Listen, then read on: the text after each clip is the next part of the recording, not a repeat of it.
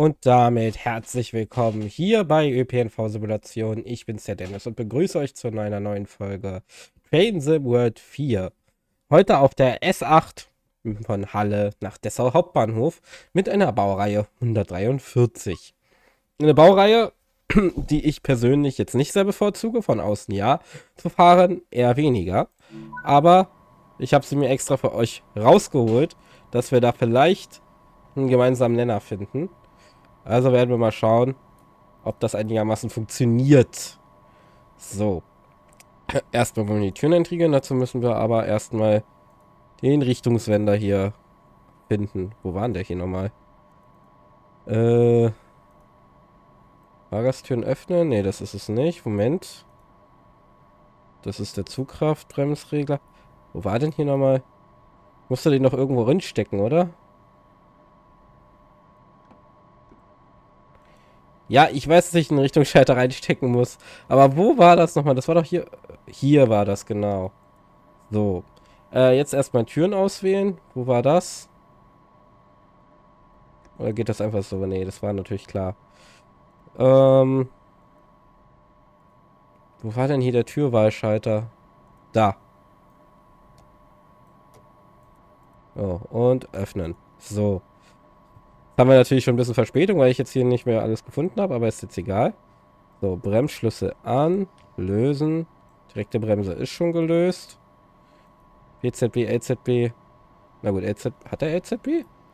Ne, LZB hat er in dem Fall jetzt nicht. Äh, Türen verriegeln. Ja, machen wir. Äh, Zugkraft hat er. So, und dann wollen wir loslegen. Gehen wir auf 40 erstmal hoch. Eigentlich soll sie sich ja relativ einfach steuern, wenn ich das richtig im Kopf habe. Ist aber immer so eine Sache, ne? So. Ich glaube, ich fahre gerade zum ersten Mal in diesem Spiel äh, 143. Ich bin vorher noch nie eine 143 gefahren. So, ich muss mal eben gucken, ob mein Ton euch zu hoch ist. Ich glaube fast, das passt alles. So, dann gehen wir mal auf 80 hoch. Es bleibt nämlich dabei. Ja, Siefer, ich weiß. Ich glaube, ich fahre gerade wirklich zum ersten Mal eine 143. das hätte ich jetzt auch noch nicht träumen lassen. Ich, ich, ich wusste gerade gar nicht, dass ich die wirklich noch nie gefahren bin. Ähm... Der kümmert sich ja hoffentlich um meine Geschwindigkeit. Was sagen die Signale? Das sieht erstmal halt gut aus. Ich suche hier gerade... Äh, hier, Signallichter. Wir sind weiß weiß. So. Ja, Licht Mitte kann ausbleiben, genau. Obwohl, können wir eigentlich mit anmachen. Genau. Ähm, Heizung ist egal. Haben wir hier noch irgendwas? Fahrprogramm brauchen wir nicht. Lokführerpultbeleuchtung, Instrumentenbeleuchtung ist gut. Ansonsten, wir können normal bleiben und das müssen wir so oder so benutzen. Gut, Makrofon können wir auch nochmal benutzen. Und wir dürfen 120 fahren.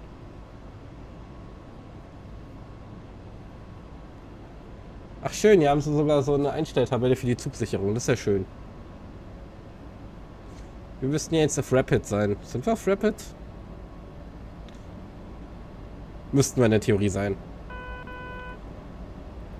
FML, was auch immer das heißen soll. Wenn es jemand weiß, schreibt es mal in die Kommentare. So. Oh, davon kommt schon das Gleis. Das heißt, ich muss mal langsam runterbremsen.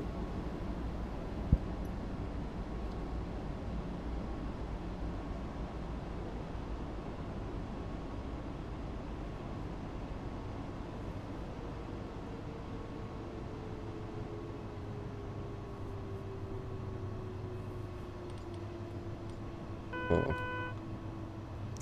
Passt erstmal so kann ich nochmal wieder ein bisschen Bremskraft drauf geben.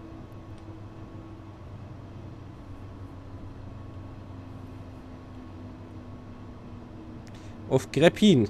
Gleis. Schön, dass er nicht mal weiß, welches Gleis das ist. So, und Vollbremsung.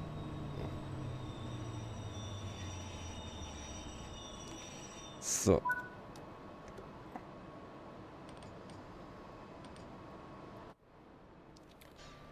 Ja, mit zwei Dostos und einem Steuerwagen-Dosto. Wir hatten heute übrigens auf Arbeit einen Steuerwagen-Dosto in unserer URD unter Flurradsatzdrehbank stehen, wo ja normalerweise nur unsere ICE-Züge stehen und vielleicht mal welche von der ODEC. Aber von der Regio haben wir bisher noch keinen drin gehabt. Das war auch sehr interessant. Wenn einer weiß, wo in Berlin-Brandenburg die Umgebung eigentlich die eigentliche URD für Regio ist, das wäre mal interessant zu wissen. Weil die muss ja irgendwie besetzt gewesen sein, dass die bei uns gelandet ist. So. Gehen wir wieder auf 120 hoch.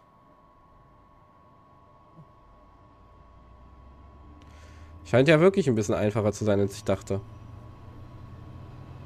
Ja gut, aber ich merke, er, er gerät ins Schleudern. Okay, das heißt, ich muss hier wirklich erst ein bisschen anders aufholen lassen.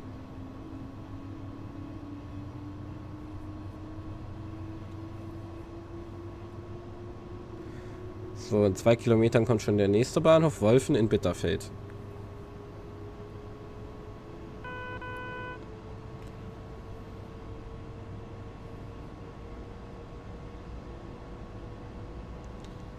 So, wir können auch gleich schon auf 140 hoch, das ist sehr schön.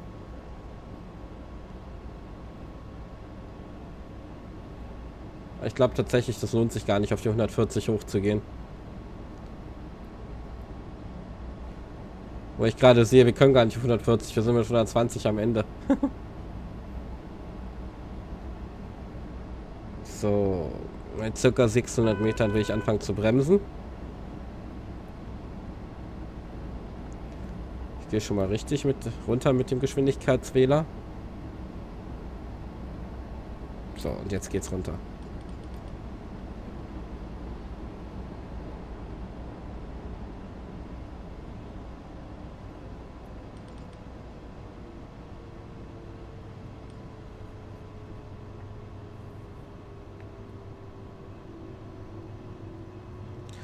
Also Bremsen funktioniert mit der 143 tatsächlich besser, als ich dachte.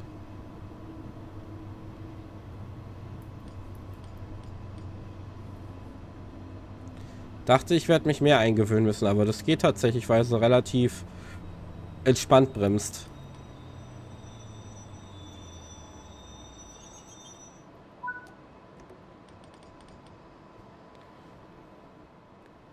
So, dann schauen wir doch mal raus.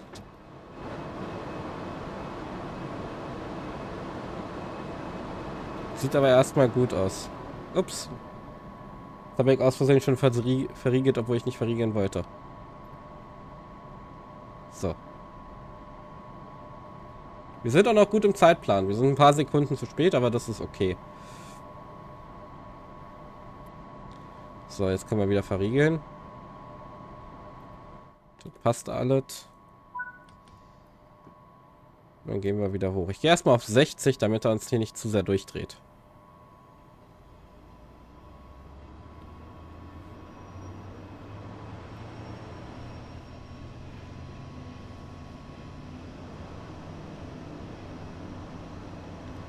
So, jetzt können wir ein bisschen wieder hochgehen.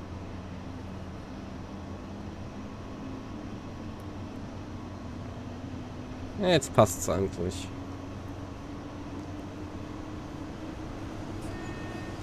Da haben wir eine S2 mit einer 182. Wenn es eine S2 war. Das konnte ich jetzt leider nicht sehen.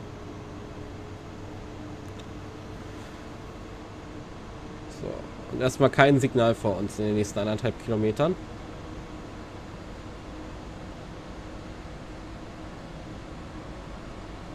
Jetzt nützt ein Anhalt. Ist der nächste Halt.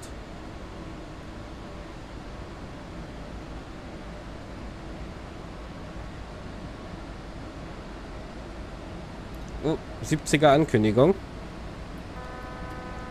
Müssen da runterbremsen.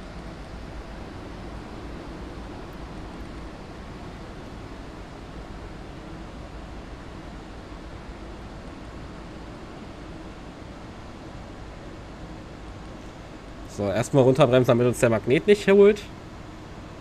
Und den Rest könnte man eigentlich ausrollen lassen.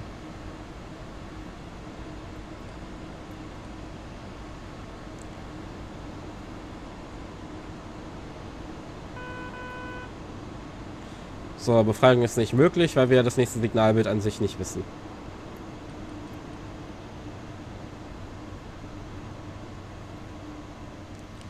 Aber da ist ja auch schon unser Bahnhof. Ist so interessant, dass hier wirklich keine Signale in den nächsten Dinge, Dingen ist. So, nö, ich befreie mich jetzt nicht. Muss eh abbremsen.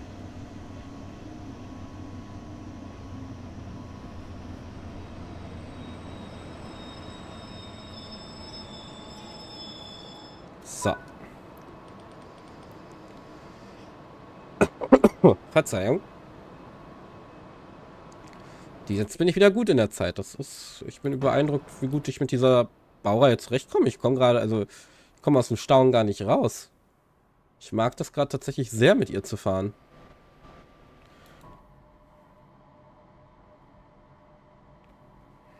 Hätte ich ehrlich gesagt nicht erwartet, dass ich so gerne mit der fahre. haben wir hier noch eine Minute, die wir stehen können.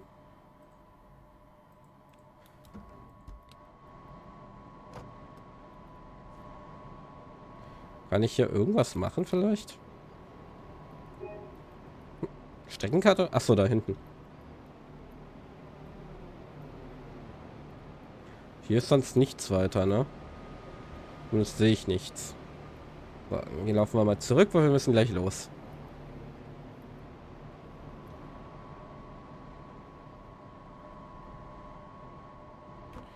Türe zu.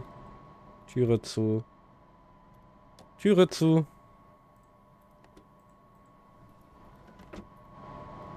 Ja, äh, Dude. Und abfahren.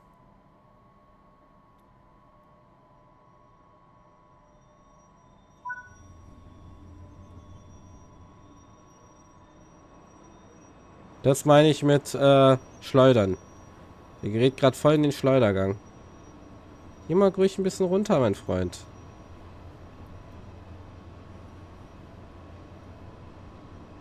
So, oh. Ups. Ich wusste gar nicht, dass er fahren kann, während das Führerbremsventil noch drin ist. Und ich wundere mich hier. So. Gehen wir mal Vollgas.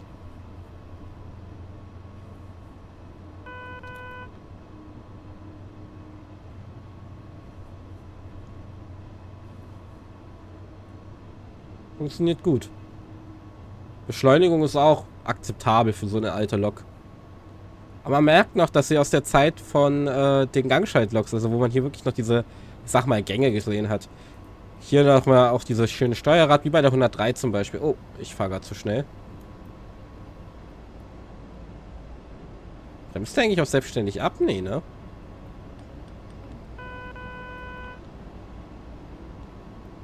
Ah ja. Naja gut, bringt jetzt eh nichts mehr abzubremsen. Hm. Haben wir halt einen kleinen Eintrag wegen überhöhter äh, Geschwindigkeitssitzung. Ist nicht so schlimm.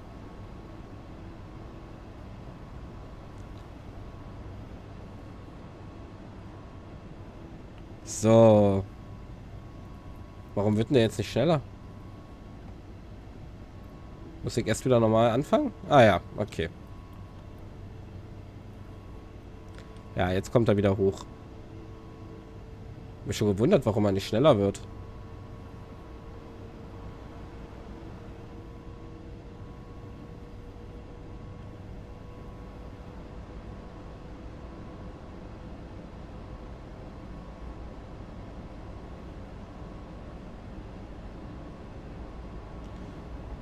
Muss nur daran denken, früh genug wieder zu bremsen.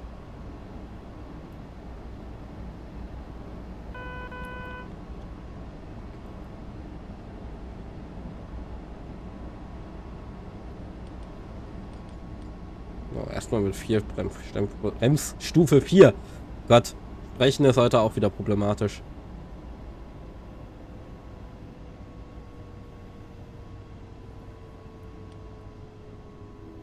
Gehen wir mal ein bisschen höher.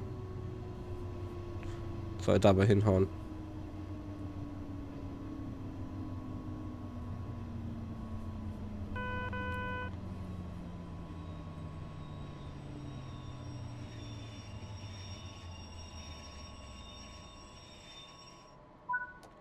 So, passt.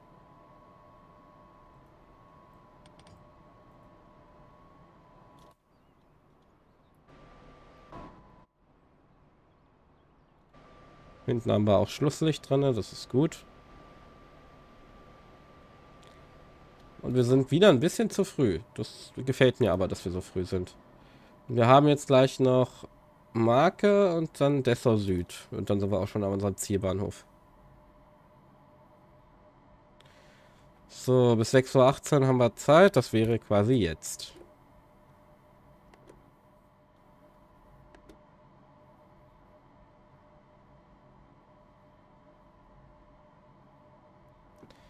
So.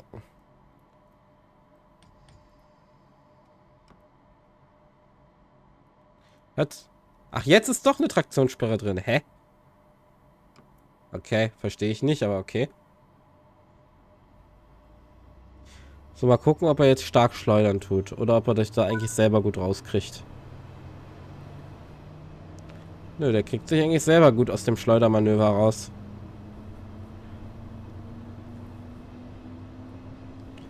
Sobald er die 40er Marke geknackt hat, ist ihm eh alles egal.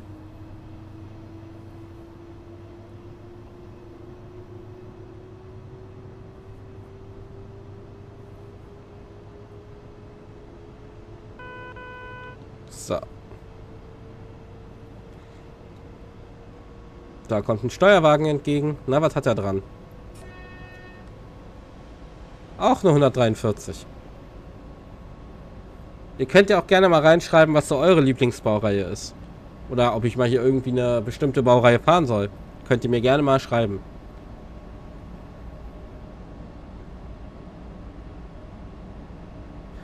Ich habe ja auch schon jetzt länger angekündigt, dass ja was zu äh, Subways in Hamburg kommen soll. Da wird jetzt auch was kommen. Also vielleicht ist es sogar schon gekommen, während ihr das guckt. Oder es wird noch was kommen und zwar entweder im Videoformat oder im Livestream. Eigentlich wollte ich im Livestream anfangen und dann nach und nach Folgen produzieren. Aber das muss man sich dann halt alles erstmal in Ruhe angucken.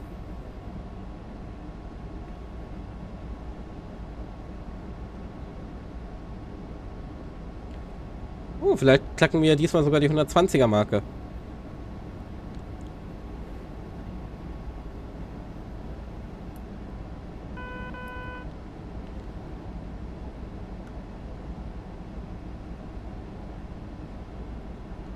Ja, nee, aber die 100 reicht schon, die er hat. Ah, das machen wir mit der Hilfssteuerung. Okay. Das ist also quasi die manuelle Steuerung, wenn ich das richtig verstanden habe. Oh, ich muss runterbremsen. Ich habe zu lange gewartet. ob ich jetzt noch pünktlich zum Stehen komme, das sei gefragt. Ah, doch, ich komme pünktlich zum Stehen. Gott, habe ich gerade einen Schreck gekriegt.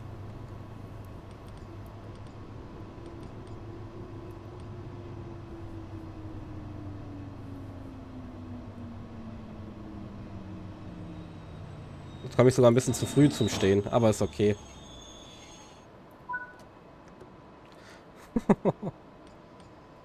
das wirkt immer so, als ob der auf ihn angeschossen kommt, ey. So, jetzt haben wir ein bisschen Zeit. Ich gehe mal die Bremse zumindest ein bisschen reinmachen. So, Streckenkarte habe ich hier schon. Auf der anderen Seite noch was.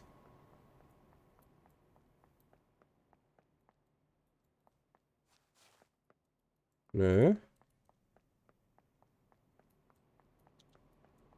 Wir haben ja jetzt eine Minute noch Zeit. Da sehe ich aber auch nichts.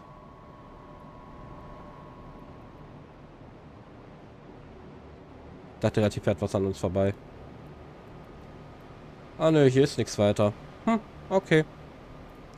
Ein sehr langweiliger Bahnhof.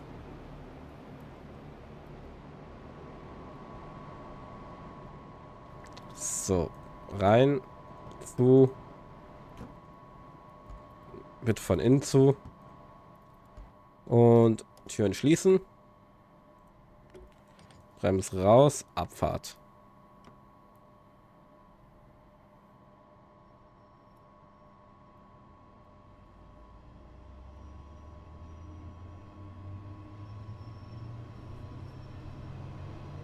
Ja gut, es interessiert ihn nicht, wie viel Leistung ich aufschalte in dem Fall.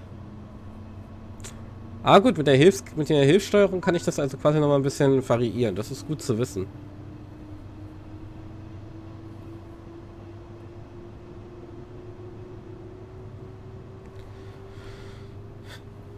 Wusste halt wirklich nicht.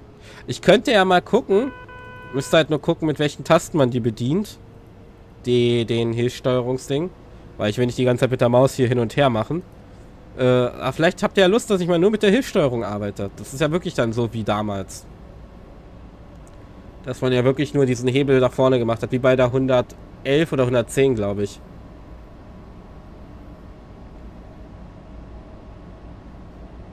Wo man ja wirklich darauf achten musste, dass man nicht zu sehr in den 40-Knoten-Bereich kam. So, jetzt können wir durchfahren. 5 Kilometer. Haben wir also ganz viel Ruhe.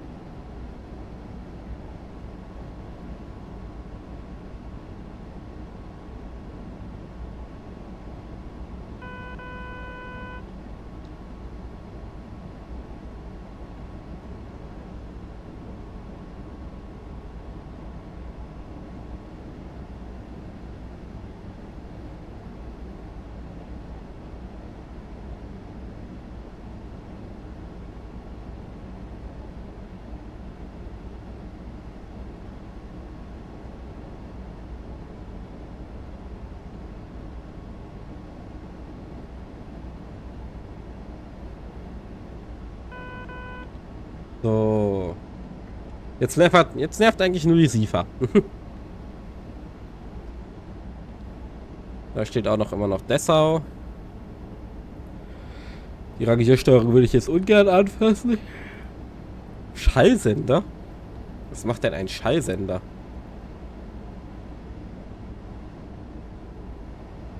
Habe ich ja noch nie gehört.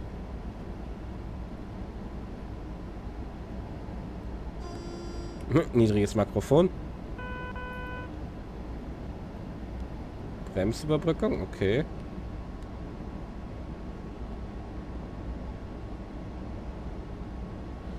Ja gut, die Signale stehen alle eh auf grün, die brauche ich gar nicht mehr angucken. Ah, hier ist der Bremser lösen Taster. Was ist das hier? Zugbremse, ja, das ist mir klar, aber was, was ist das hier? Scheibenwischer. Okay.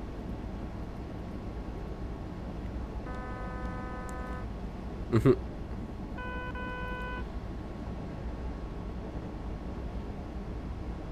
So. Also wie ich das richtig gesehen habe, kann man sogar aus 300, 400, 500 Metern gut bremsen. Das heißt, wir werden gleich mal versuchen, eine Vollbremsung bei ungefähr 500 Metern hinzulegen.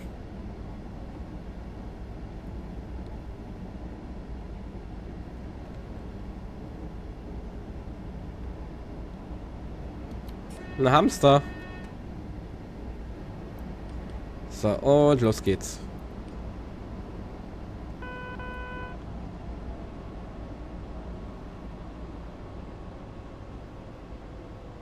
Ah, ich komme, glaube ich, zu früh zum Stehen, ne? Ja, heißt, ich kann wieder ein bisschen runtergehen. Die Bremse steuert aber wirklich sehr direkt an. Ob das wirklich so ist, weiß ich ja nicht.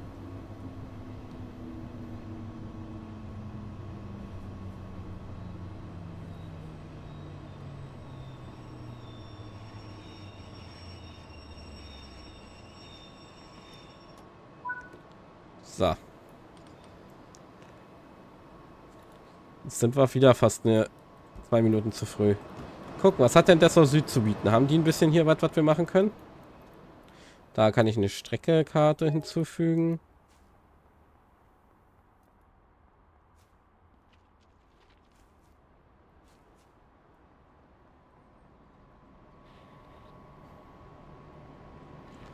So, schauen wir mal. Auch ganz schön wenig los hier.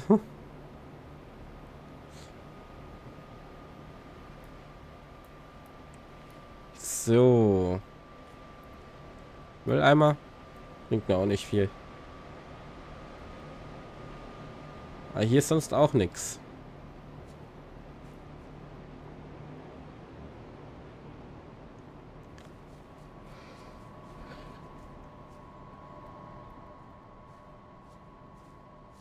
So, hier. 6.28 Uhr. Da werde ich abfahren. Ah, nö, sonst ist ja halt wirklich gar nichts. Womit komme ich denn eigentlich hier hinter? Ah, bis zur Hecke, okay. Ja, okay. Ist nichts Spannendes hier. So, Tür zu, Tür zu, Tür zu. Bremse lösen, Abfahrt.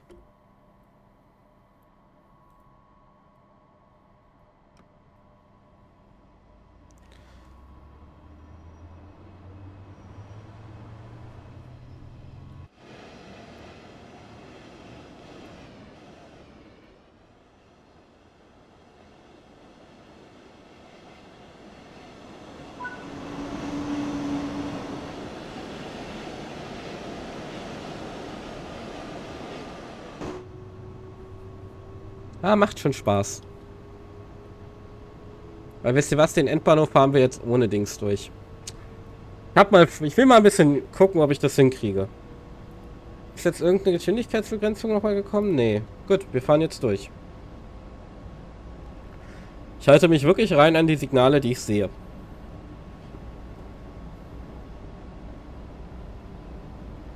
Wow, jetzt kommt erst die Meldung, oder was? So.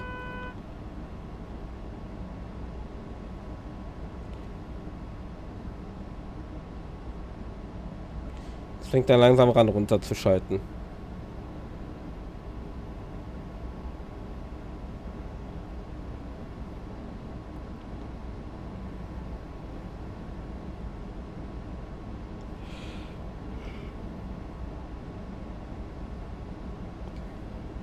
Hm.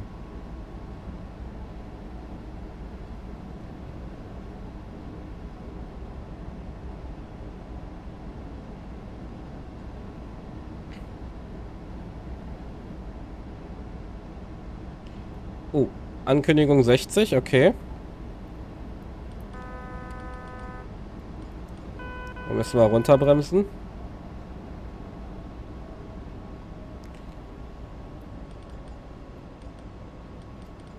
So. Zumindest so weit runter, dass uns der Magnet nicht mehr gefährlich werden kann.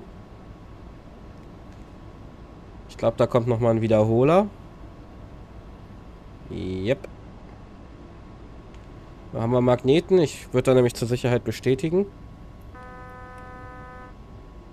Ne, haben wir anscheinend nicht. Und da kommt ein gelbes Signal und 60. Also jetzt runter auf 60.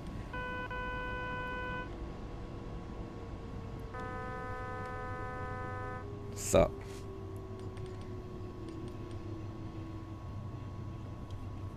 Bleiben wir auch bei der 60, weil der 500 Hertz Magnet wird ja auch irgendwann anschlagen.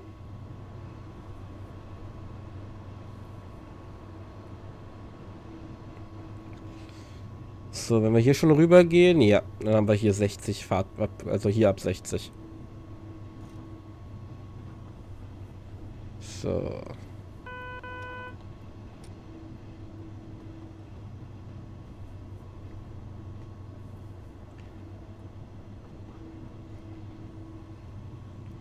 So, ich bremse noch mal ein bisschen runter.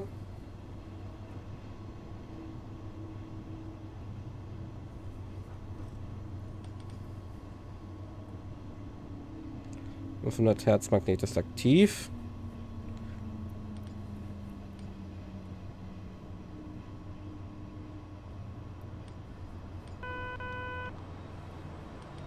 So.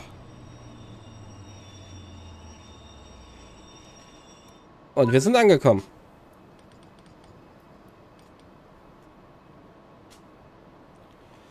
So, machen wir mal die Zugbremse aus. Direkte Bremse können wir so lassen. Bremsschlüssel an, äh, aus. Hä? Der war rückwärts? Lol, okay. Oder ich war das gerade, ich weiß es nicht. So, Richtungswender ausgesteckt. Und die Signale machen wir wieder auf Rot. Das mittlere aus. So. Dann gehen wir zum Steuerwagen und verriegeln von dort aus die Türen.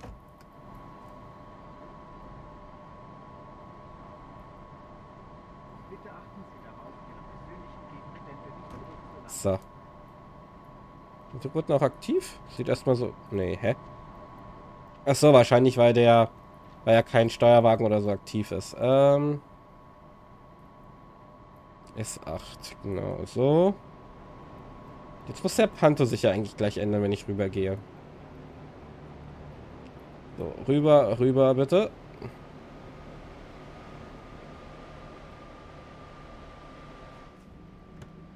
So. Spitzensignale. Batterie ist fahrend.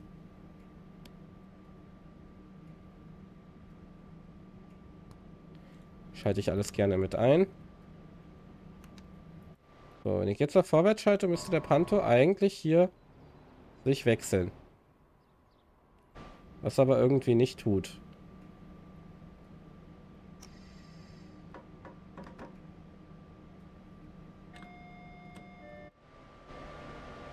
Aber er schließt zumindest die Türen. ich wollte nur mal gucken, ob er Leistung aufschaltet, aber hat er auch nicht gemacht.